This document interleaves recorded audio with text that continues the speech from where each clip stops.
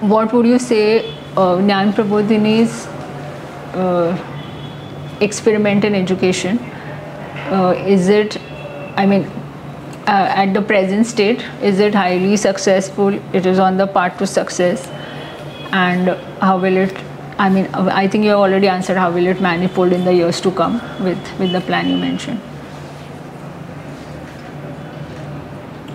cannot say it is highly successful because whatever has been achieved is just a drop in the ocean and we have so much to achieve.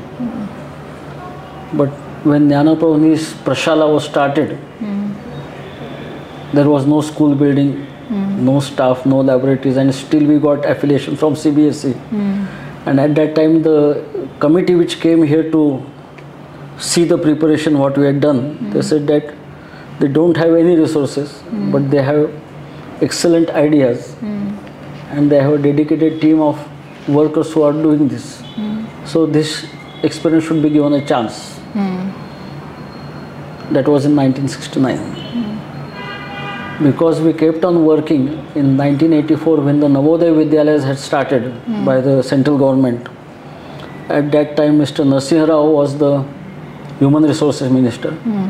He visited Jnana Prabodhini at that time and he said, Jnana Prabodhini has to be the model for all these Jawahar Navodaya Vidyalayas. Now there are 500 all over hmm. India. Right.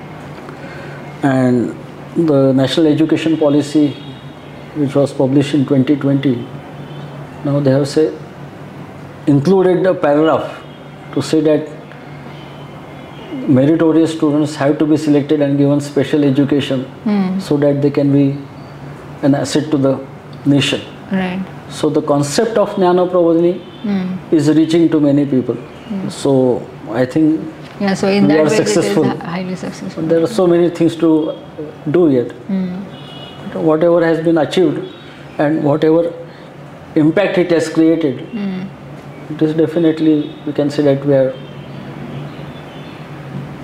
Yes, I mean in in these ways highly successful and set on the path to success in terms of multiplying. Great. So uh, thank you so much, sir. Uh, you have answered all my questions patiently, and I think it's been more than an hour since you have Yes. been talking. So I'm extremely grateful.